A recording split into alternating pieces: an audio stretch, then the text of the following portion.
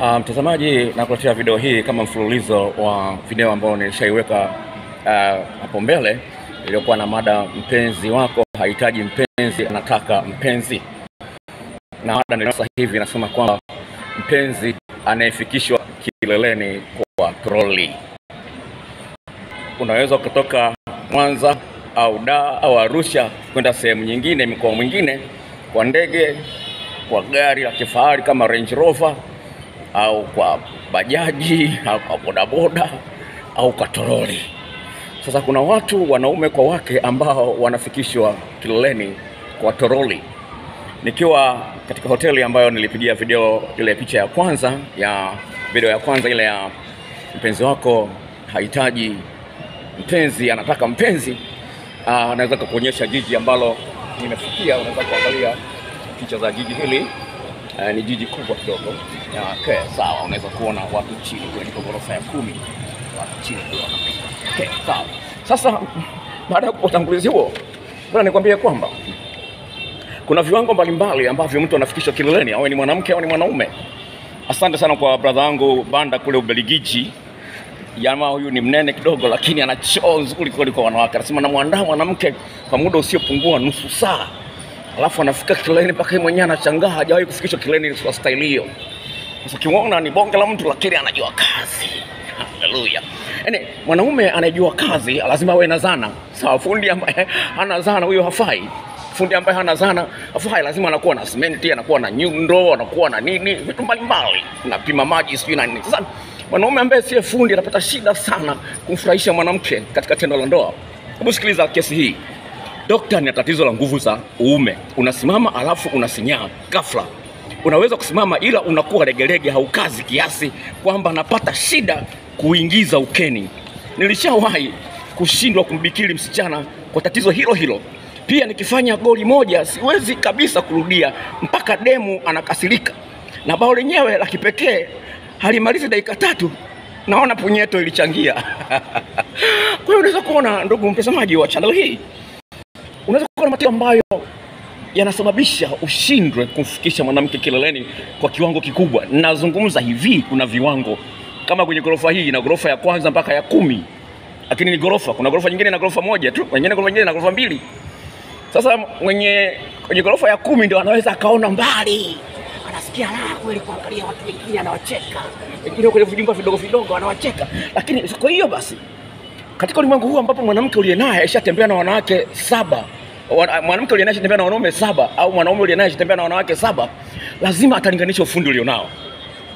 Mwanamke lazima ajue kwamba mwanaume ana maeneo kumi na manne katika mwili wake, maeneo ambayo yana miisho mingi ya mishipa fahamu. Ajue kila eneo lina ufundi wake.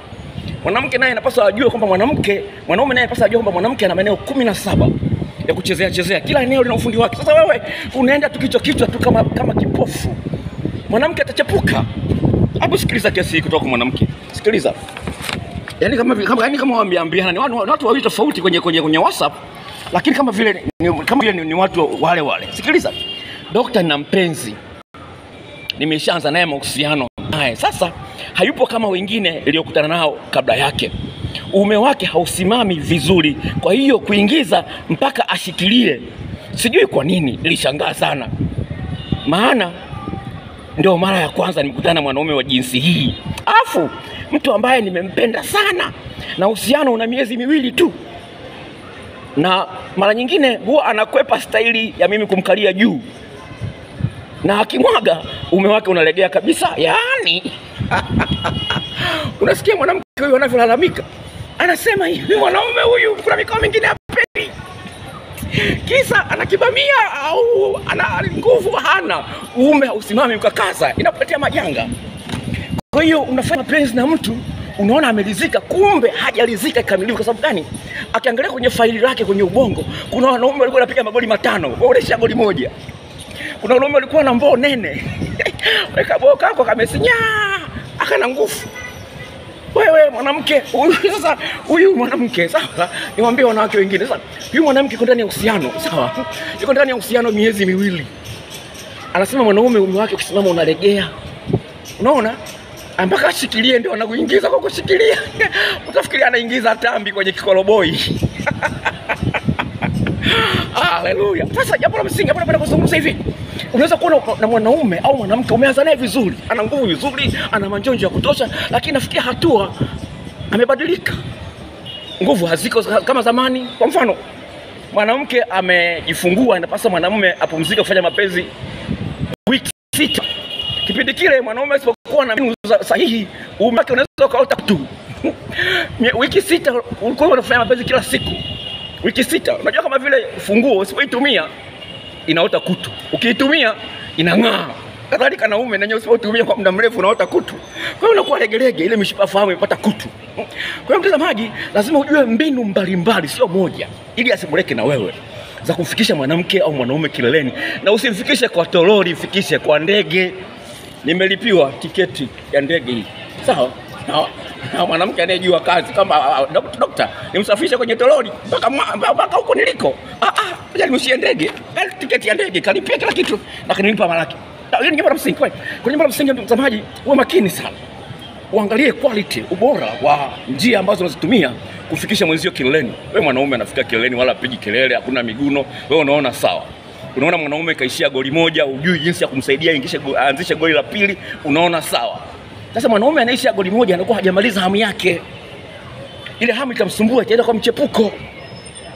Kwa hiyo lazima mwanamke aliyeitwa na Mungu kwamba atakuwa msaidizi wa mwanaume lazima ajue mbinu za kumfikisha mwanaume mara mbili, mara tatu, mara nne. Sasa kama mwanaume ameishia goli moja, unamwangalia tu hivi kama mdoli, napaswa msaidie afike raundi ya pili, ya tatu, ya nne, amalizie.